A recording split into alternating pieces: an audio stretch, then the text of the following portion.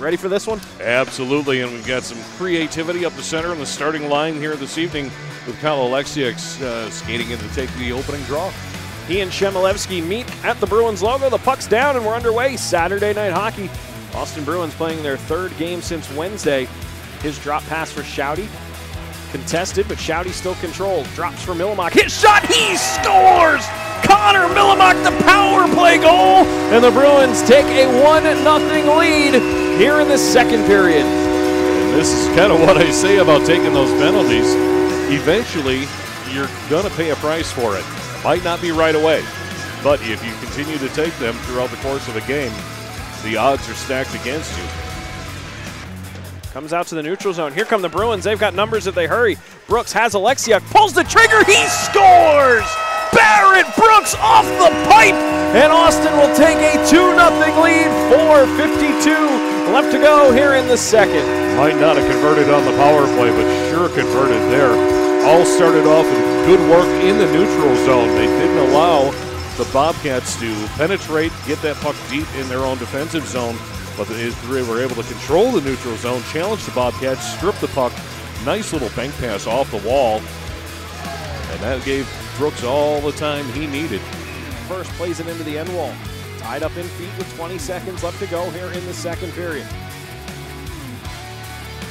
There's a battle away from the puck. Cullen Rush. There's some pushing and shoving. That's going to be penalties coming here. Now we've got ourselves a fight. Cullen Rush throwing some big right hands, and he takes his man down.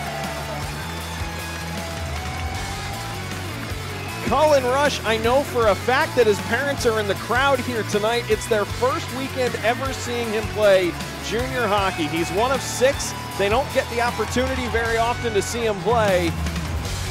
And boy, did he lay down the law on that. Long pass ends up on Aiken's stick.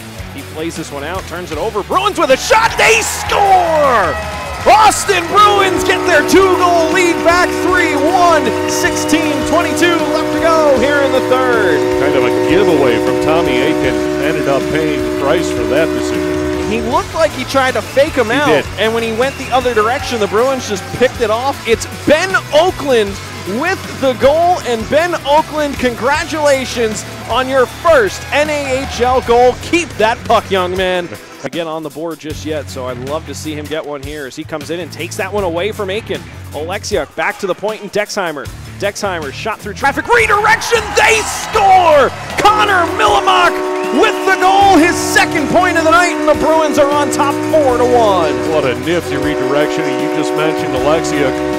It's because of his work and his hard play down low that that goal took place as he came through and stripped it off of Aiken.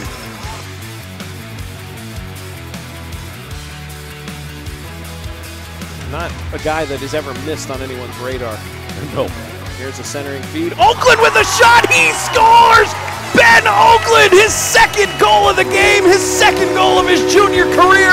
A beautiful redirection, and the Bruins jump out to a 5-1 lead. 6:01 left to go here in the third. Beautiful pass as Oakland had a step on his coverage and didn't even have both hands on his stick, but did have his stick on the ice, and he was able to reach out with that right hand and redirect that puck and right up and pass through Aiken.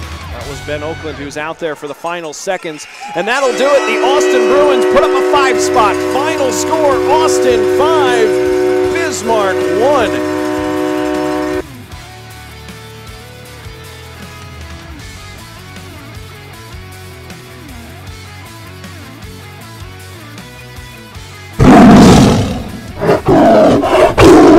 Hallelujah.